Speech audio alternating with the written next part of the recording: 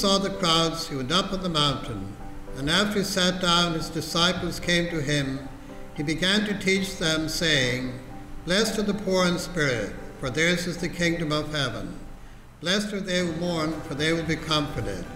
Blessed are the meek, for they will inherit the land. Blessed are those who hunger and thirst for righteousness, for they will be satisfied. Blessed are the merciful, for they shall be shown mercy. Blessed are the clean of heart, for they will see God. Blessed are the peacemakers, for they will be called the children of God. Blessed are they who are persecuted for the sake of righteousness, for theirs is the kingdom of heaven. Blessed are you, and the insult you and uh, insult you and persecute you, and utter every kind of evil against you because of me. Be glad and rejoice, for your reward will be great in heaven.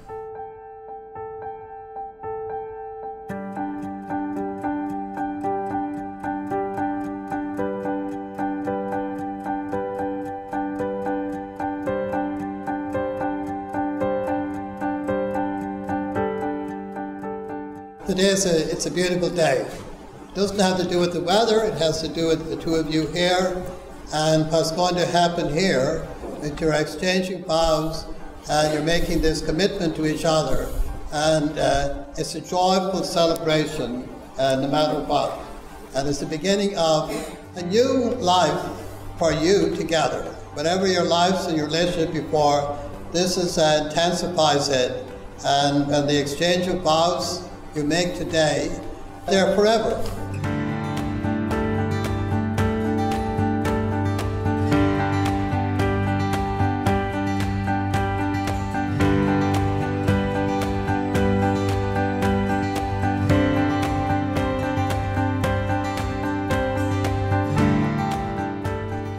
Then God said, Let us make man in our image, after our likeness.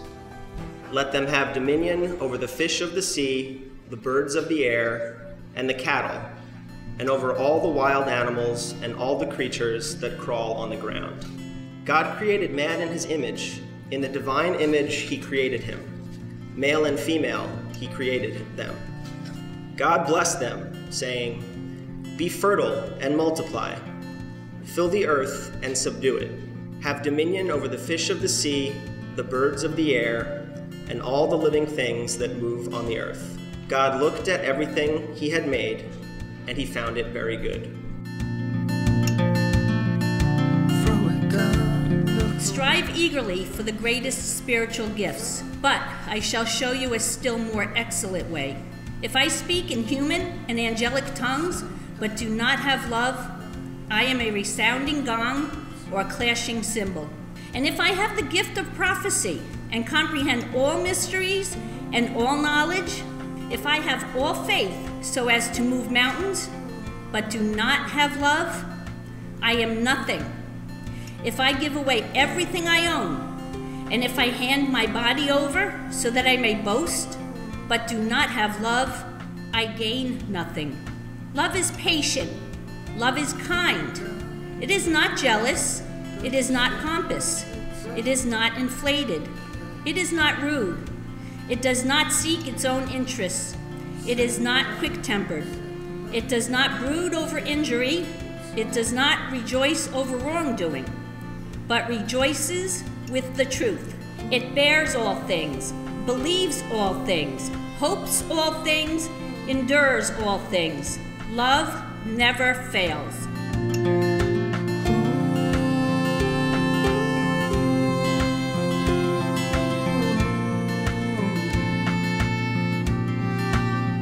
Two of you, you, you give the sacrament to each other. I'm just a witness in the church and state. All your family here is all witnesses as well of what you're doing. And uh, you're saying that you uh, love each other, uh, but you're asking for God's blessings upon that love. And the truth is, as the gospel said there, has all these blessings in it. And some of those blessings are come at hard and difficult times if you just walk through them. But no matter what the day is, that God's blessing is always available to you, uh, no matter what the circumstance of your life. And just as you come and are conscious of that here today, encourage you to, and anybody here who's married, in any vocation in life, and that when we uh, join whatever power and strength we have with God's, it comes much better and much stronger. And the love that you have for each other will be deepened and strengthened by the love that God has for you and the love that is given to you in the sacrament of marriage. God intended men and women to be together and to be together in a union, both physical and spiritual union, and that you would be there together and that He would be with you in that union. And so that's what's happening here today. That uh, your, your vocation is the oldest vocation in the world, the vocation of marriage. Priests like myself, we came long, long, long after that. And your vocation is the most important vocation in the world and in the church because you're the ones who uh, model really the love of God. And Jesus in the New Testament talks about that. When Paul is trying to compare the love that Christ had for us, he said marriage is the closest thing we can come. That in marriage you sacrifice for each other, you share with each other life, you give of your, uh, each other freely, and that that's as close as we'll ever get to a symbol. So the vocation that you have in the union that you're entering into has been blessed by God from the very beginning.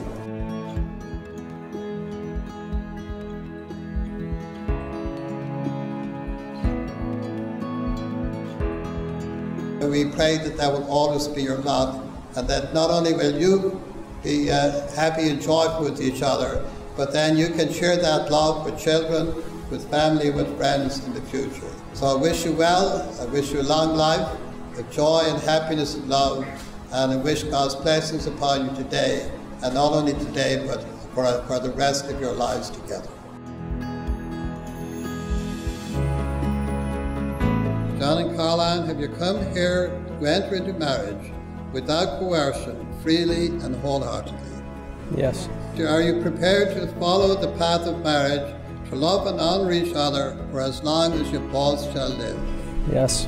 Are you prepared to accept children lovingly from God and to bring them up according to the law of Christ and His church? Yes. I, John, take you, Caroline, to be my wife. I promise to be faithful to you I promise to be faithful to you in good times and in good times and in, and in bad, in sickness and in health, in sickness and in health, to love you and honor you. To love you and honor you. All the days of my life. all the days of my life. I, Caroline, take you, John, to be my husband. I promise to be faithful to you. I promise to be faithful to you. In good times and in bad, in good times and in bad. in sickness and in health, in sickness and in health, to love you and honor you. To love you and honor you. All the days of my all life. Caroline, take this ring As a sign of my love and fidelity, as a sign of my love and fidelity. in the name of the Father, In the name of the Father, and of the Son, and of the Son, and of the Holy Spirit. and of the Holy Spirit. John, take this ring As a sign of my love and fidelity, as a sign of my love and fidelity. in the name of the Father, In the name of the Father, and of the Son, and of the Son, and of the Holy Spirit. and of the Holy Spirit. And may Almighty God bless you, the Father, the Son, and the Holy Spirit. Let us go in peace to serve the Lord and to celebrate this marriage.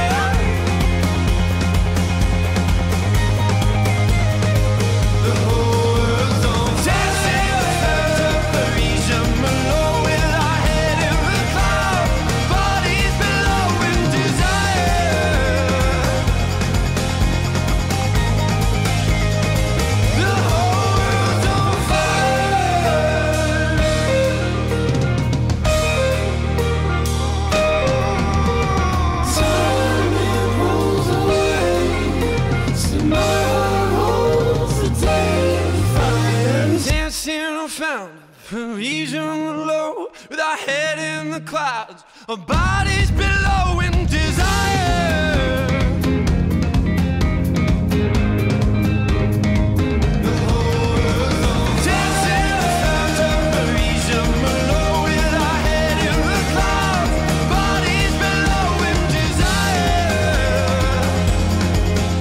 Welcome on behalf of John and Caroline. But I really want to make a special thank you to Jack and Joanne O'Brien for raising a man like John. I've come to know him over the last several years, and he's, he, is really a wonderful guy. J.O.B., welcome to the family.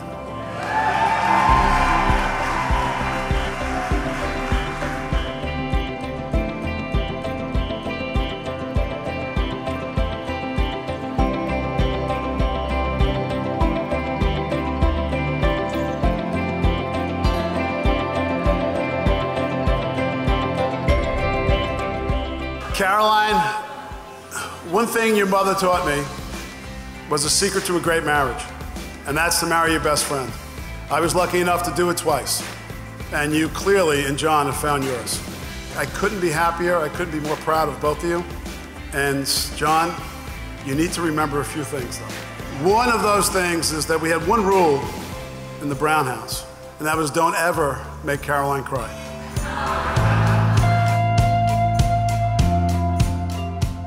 There's a few things, Caroline, that, uh, that's very important in life, and John, and that's to be surrounded by your friends, and to make sure that you always keep those friends close and always keep them dear.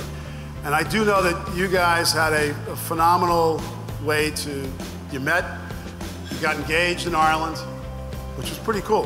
And to those who don't know, John and Caroline got engaged near where The Quiet Man was filmed.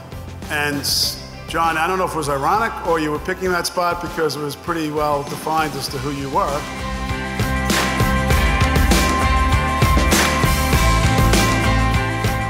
May your days be long and filled with happiness. May your children be many, probably redheads, and healthy.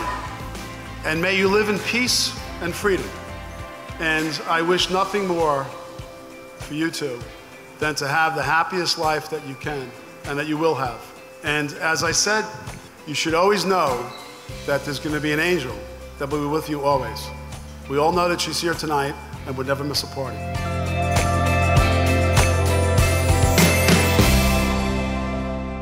Let's celebrate one hell of a couple on one hell of a day. And there's an old Irish proverb, Caroline, that says, Happy the bride that is poured on.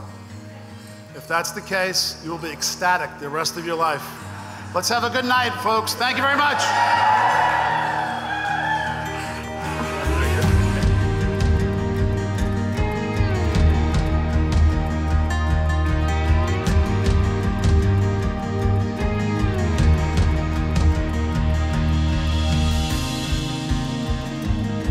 Since we're your best men tonight, John, there's no better time than now to tell you really how much we love you, how great of a friend you are to us, and how lucky we are to have been so close to you for 15 years.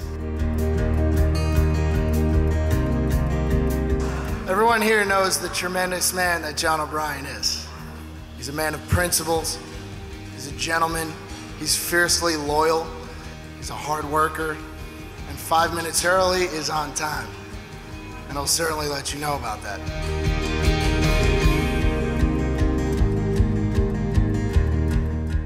At first, John's big move on Caroline was to ask her to group happy hours with friends. After about 10 happy hours and no official dates, several of which I had to go with him on for moral courage, Caroline started getting a little worried. All of her friends thought, hey, you know, maybe John just thinks Caroline is really cool and wants to be friends. That's what we all think.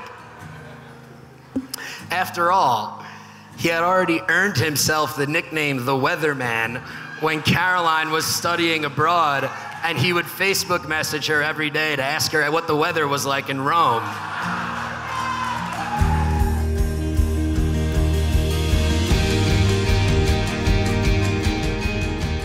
We could really tell that they would be great partners when Caroline decided to run the New York City Marathon.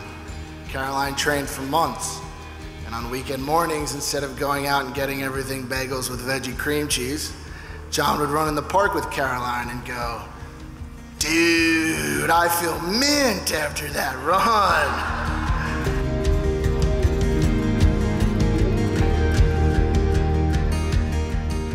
So, leading up to the marathon, John was Caroline's biggest supporter. He just kept constantly telling everyone to come meet up, come meet up, and celebrate when the, the race was happening. And when the day of the marathon came, John ran alongside of Caroline for some of it, and he couldn't have been more proud of her.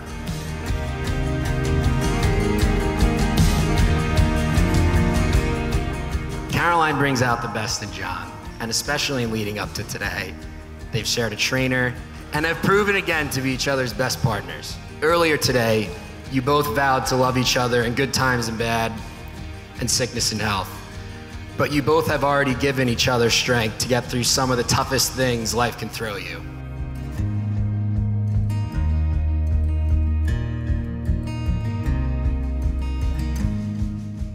John and Caroline, you guys have supported each other from the very beginning.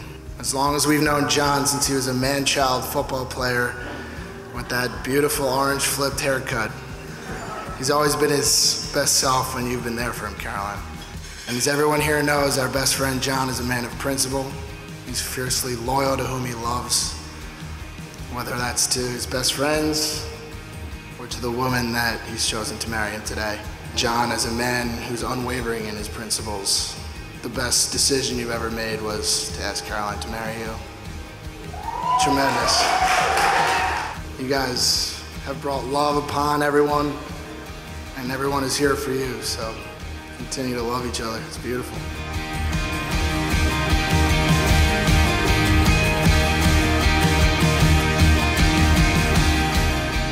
John and Caroline, here's to a long life together filled with happiness, laughs, loves, and strangers asking you, Are you guys married or brother Brothers and and sisters.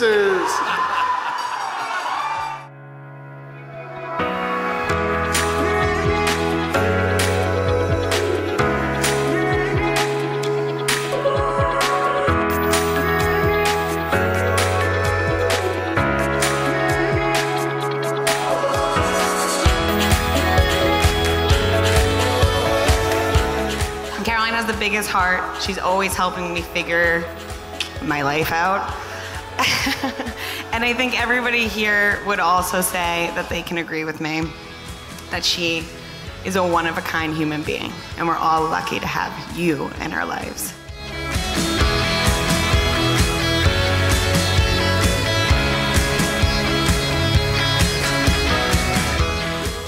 Seeing them together, we can all tell that they're the perfect couple. But there was somebody who could tell at first sight. The first time our mom met John, it was in Point Lookout. And in the first 30 minutes, she said, I have a good feeling about you. Caroline, you're gonna marry him. Listen, baby, ain't no mountain high, ain't no valley low, ain't no river wide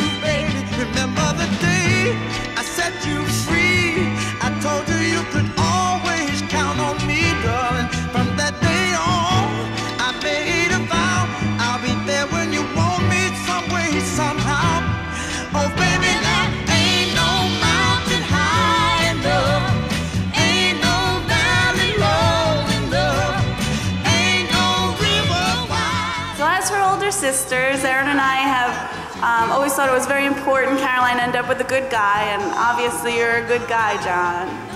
To Dinky and Obis!